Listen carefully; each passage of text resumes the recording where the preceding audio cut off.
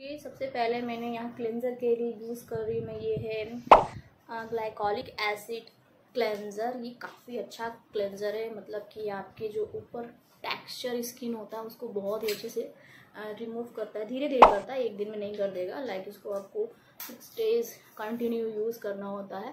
तो यहाँ पे मैंने कोई पानी नहीं लिया, अभी मैं पानी से वेट करके आती हूँ वन मिनट बहुत ज़्यादा झाग नहीं होता और आँखों को बचाना होता है। आँखों की मतलब आँखों के अंदर इसको नहीं जाना होता वरना डेंजर हो सकता है क्योंकि इसमें है थोड़ा सा एसिड सो वो नुकसान कर सकता है आपके आँखों को।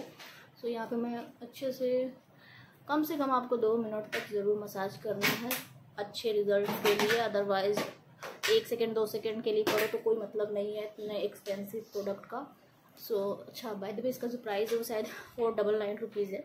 शायद इतने ही बट ऑन डिस्काउंट और आपको अच्छे प्राइस पे मिल जाएँगे ऑनलाइन सो so, आप चेकआउट ज़रूर कर लेना मैं एक ही हाथ से जल्दी जल्दी कर रही हूँ क्योंकि मेरे पास टाइम नहीं है बहुत सारा काम है।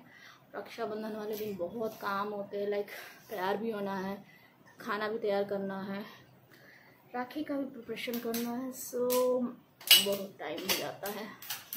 सो so, यहाँ पे मैं कल मेरे पास टाइम नहीं रहेगा, इसीलिए मैं आज ये सब कर ले रही हूँ। सभी मैं वॉश करके आती हूँ।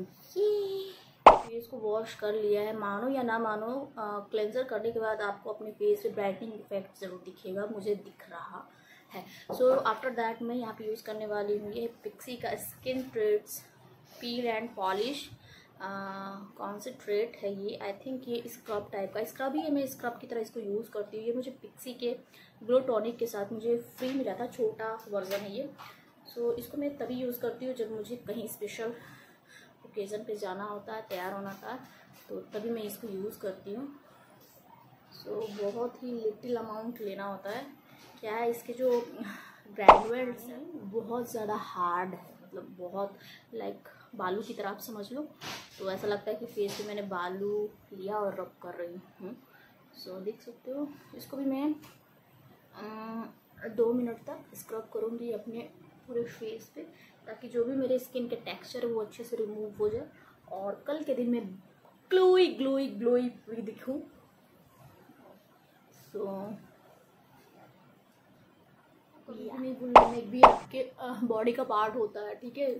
और मेकअप करते टाइम इसको बहुत से लोग भूल जाते हैं जो कि बहुत ही अलग दिखता है वो अच्छा नहीं दिखता। सो so, यहाँ पे दोनों को अच्छी तरह से मसाज करना है एंड मिलती है मैं वॉश करने के बाद।